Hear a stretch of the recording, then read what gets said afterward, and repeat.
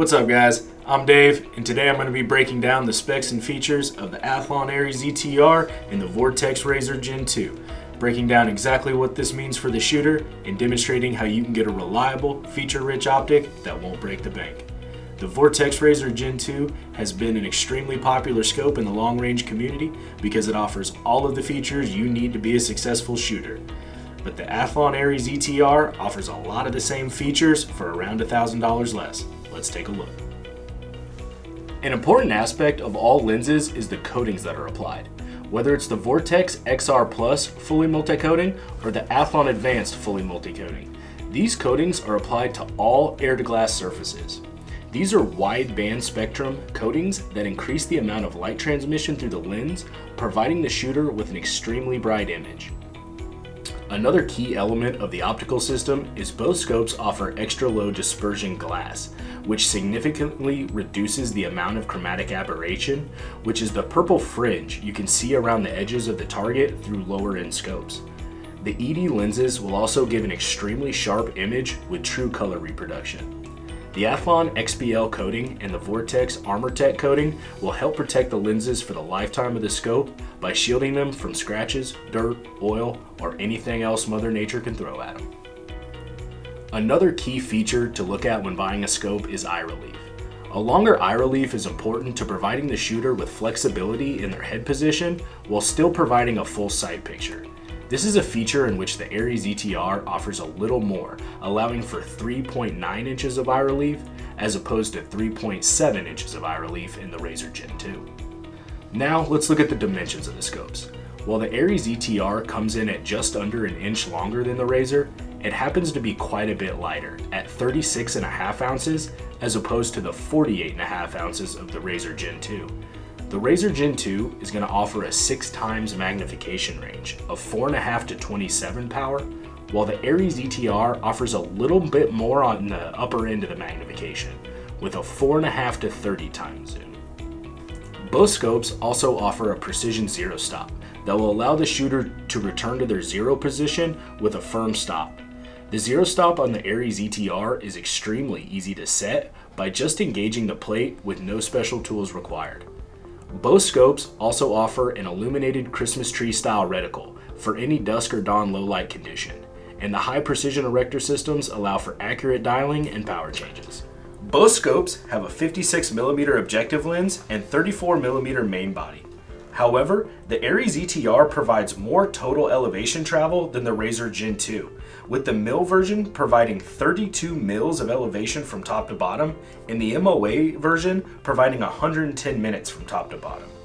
Where the Razor Gen 2 mil version will only give you 28.5 mils of elevation travel, and the MOA version only giving 71 total minutes from top to bottom. This is extremely important in long range shooting as you know, the farther you attempt to shoot, the more bullet drop you'll have. This extra elevation travel will allow the Ares ETR to put standard and larger calibers on steel at distances well beyond 1,000 yards. With the extra 3.5 mils giving you about 126 more inches for, of compensation at that distance, and the MOA version providing you with about 408 more inches of compensation at 1,000 yards. This could also be a make or break feature for those of you trying to put 22s on target at 400 yards and beyond. The Ares ETR will also have a wider range for parallax adjustment, allowing you to set your scope to be parallax free as close as 25 yards and 500 yards to infinity on the upper end. While the Razor Gen 2 matches the Ares out at long range, it will only come in as close as 32 yards. Combine this with the added elevation and you have a scope that can effectively shoot closer in and at farther distances with all things being equal on the rifle. Both scopes are offered in mil or MOA, with the Vortex Razor Gen 2 in mil giving 28.5 mils of total adjustment top to bottom, and the MOA version providing 71 minutes from top to bottom. The Ares ETR will provide 32 mils from top to bottom or 110 minutes revolution. Two revolutions. Three revolutions. Four revolutions. So with 71 minutes of total elevation travel in 25 minutes per rotation, I should not be able to get three full rotations on the Vortex. One rotation. Two. Less than three. Another really cool feature of both scopes is the locking windage turrets. This is particularly important not only for helping you maintain your zero at the range, but can be critical for the hunters that want to bust this scope through the brush. The Razor Gen 2 will also incorporate this feature into the elevation turret.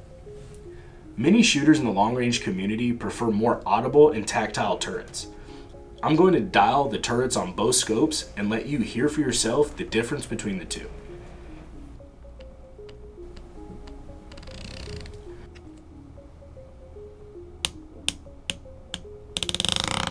The reason the Athlon is so much more audible is because the Ares ETR has a stainless steel component built in that is critical for providing an audible click that can be repeated round after round for the lifetime of the scope without losing any of the sharpness. And now that we've mentioned repeatability, of course we have to ask how consistently and accurately the Ares ETR tracks. And who better to answer that than Taborsaurus Rex, who recently spent some time behind the Ares ETR. Here we are. I was holding here the whole time. There's my bottom group, and that's me shooting sloppy. I dial up exactly 7.5 mils. Uh, typically Asian scopes don't track like that. I'd call that dead on nuts. all right, Athlon. Good job, guys. Once again, Athlon Optics has delivered a scope that is sharp, tight, and priced just right to get you shooting like the pros without breaking the bank. And while both scopes offer a lifetime warranty, the Athlon warranty does not require a receipt or registration, making it once again the best bang for your buck in the optics industry. Thanks for watching.